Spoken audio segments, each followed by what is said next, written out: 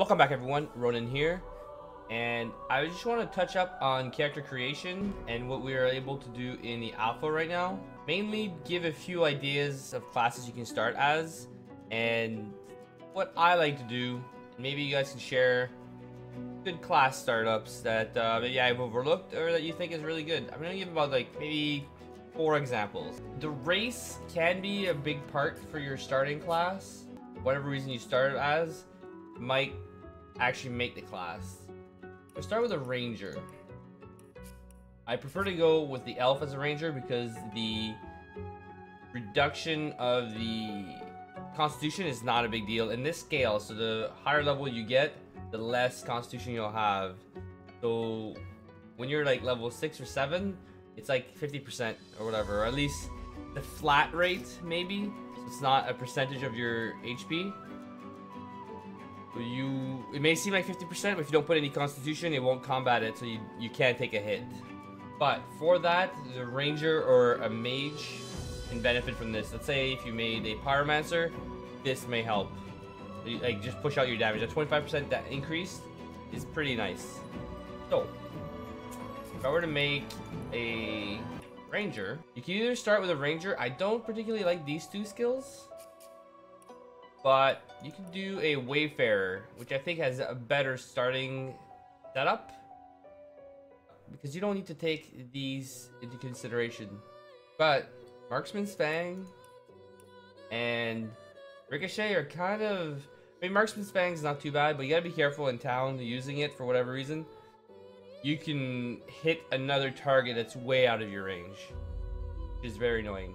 This, unless they're really grouped up, doesn't work that well, I find. If you start with Wayfarer, at least you have some CC. And again, be careful in town with this. So it all depends on what else you're going to use in your party. I'm going to customize it and make sure you put your tags in for whatever you want to do. Like I say you want Jester and Rogue. And you have to think what your role is going to be as a Ranger.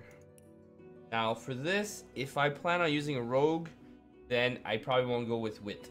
If I don't use a rogue, I'm probably gonna use a lot of wit. It all depends. I'm gonna put some wit though, not none. I'm not gonna cover any of the skins because that's all up to you. Customize. You cannot change the skills yet. I'm assuming as the game progresses, see, it says disabled for early access. You'll be able to make your own class, which will be much better when it releases. I know I selected Wayfarer, but I don't care for the intelligence. I'm building an actual ranger later on. You could put at least one wit. It will give you that one initiative. I highly recommend at the beginning to actually put a point or two in wits because it actually makes a big difference in your initiative. And here for finesse, you're actually already maxed out with your stats because you are an elf. And sure, 30% extra damage with your skills is great, but you only picked one anyway for this class it's not really gonna matter. So two points in wits will actually give you, here it says five initiative. I don't think so, it's not gonna be five. You go, it doesn't say here stat-wise. So we'll have to see when we get into the game, because that would mean we'd be at eight initiative. That doesn't make sense right now off the top of my head. Now, yes, ranged. Now, since you have these skills, you don't need to keep up with them. You can remove this, you'll still be able to use them. That's the beauty of the system now. It may be subject to change. I know I'm gonna need at least one point in Scoundrel for Adrenaline and Huntsman. Huntsman is amazing. You're gonna want to spend most of your points between ranged and Huntsman, in my opinion, for a Ranger. If you wanted uh, Teleport, you can use the gloves for a very long time because you don't need the stats. Because armor-wise won't matter if you're far enough and don't get hit.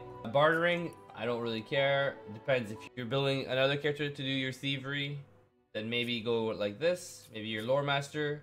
That'd be handy too. I wouldn't recommend leadership because you're gonna be so far behind. And you're an elf. I'd recommend maybe a human to do that. In this case, I'm gonna make a lore master. Then talents.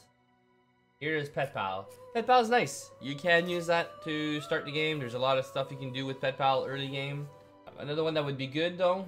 You're making an actual ranger. You can get Pet Pal at level 2 or 3 you could get Hothead. That one is pretty big.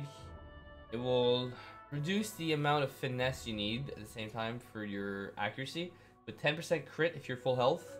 The beauty of this is with your ability, your innate ability as a an elf, if you take a hit before using Flesh Sacrifice, Flesh Sacrifice will heal you by reducing your max HP, and then you'll still be max health.